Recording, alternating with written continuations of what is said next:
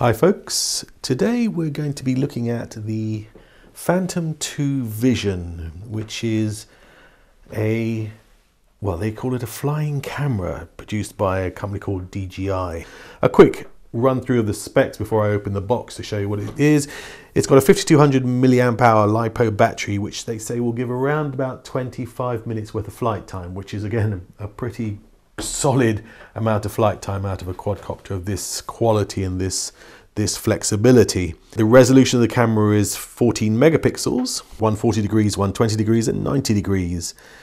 And you get the cool ability to control the whole, or to, to view the whole thing from your smartphone via a uh, Wi-Fi connection. It's basically a, a, computer, a flying computer actually, rather than a flying camera. So you get a nice set of, of um, documentation, quick start guide, uh, and things like this out of the box. Most of the, the, the, the documentation you need is actually online in, in the videos and everything else like that. They've designed the the craft to be as easy to fly as possible. In the box, the controller, which has the bracket on the top here for the range extender and also a mount that comes here for the uh, smartphone mount. Runs off four AAA batteries. And they say with the range extender it can go up to something like a thousand feet in range. This is the range extender itself. The power charge block and this is the actual clamp for holding the smartphone. The actual quadcopter itself features the camera um, on a nicely vibration damped gimbal system which can be controlled tilt and pan from the smartphone as you're flying. And one of the very cool things about this is, is you can set the quadcopter into automatic hover mode using GPS and spend your time then just framing your shots with pan and tilt on the camera to make sure you get exactly the kind of shots you want and the camera will maintain position as, as close as it can in the wind and stuff. And this is the battery unit which slots in and out. Minimal amount of assembly needed out of the box. Basically you've got to uh, put the, the props on, charge up this battery, and that is really, I mean, about it. The other things you'll, you'll need to do is to install this DJI Vision app. The app itself is, is fairly simplistic to use again. You get the camera app, so when you're actually connected to the, uh, the Wi-Fi, Wi-Fi system that the uh, Phantom Vision gives out, you're getting the full control. So you're getting a full point of view that you would do from a standard point of view set of goggles or whatever as you're flying. It's really brilliant, really nicely executed. So that's actually it out of the box. It's really just a matter of putting the bits together and starting to fly.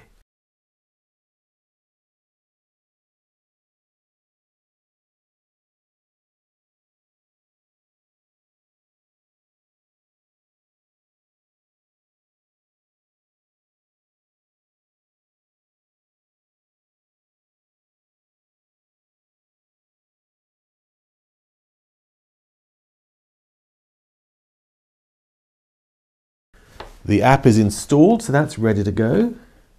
And then it's a matter of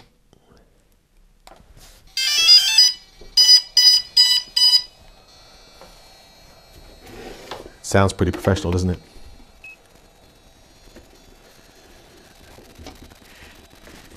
I don't know if you can see this, but I've got everything running now and it's connected and powers on to everything. And I've got the, first I had to connect to the Wi-Fi, the actual Phantom Wi-Fi system, which I've now done, which means I can control the camera from here. I get to see, you see all that? This is, uh, let me just put the something in front of the camera. So if, I don't know if you can see that on the,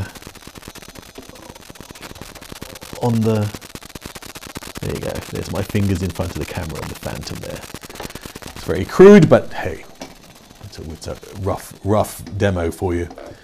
I've got flight altitude, ability to change the gimbal on the, the camera angle on the gimbal, um, to take a shot, to capture some video here, these controls, how many shots I can take, how full my SD card is, the state of the battery life on the Phantom, and also the Wi-Fi connector level.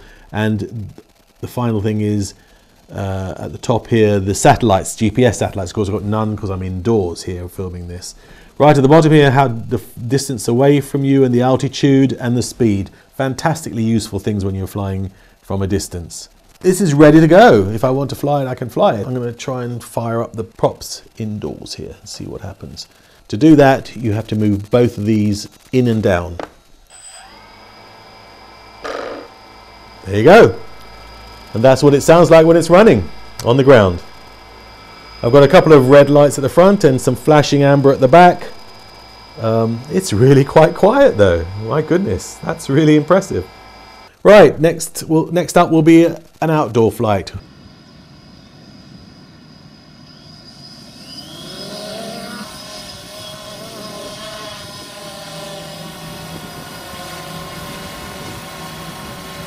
So as we can see, the, the Phantom stays exactly where you placed it, which makes it a beautiful thing to, to fly because, as you can see, I've got no hands on at all. I'm literally just uh, letting it fly itself by the 10 satellites. We've got a 10 satellite lock. So I can change the viewpoint of the camera and really get the kind of shots I need, which is really very cool.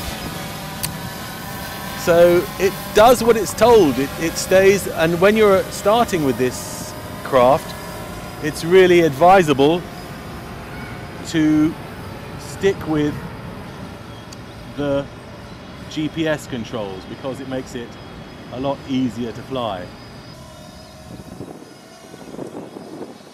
It's a gorgeous piece of equipment to fly, I have to say.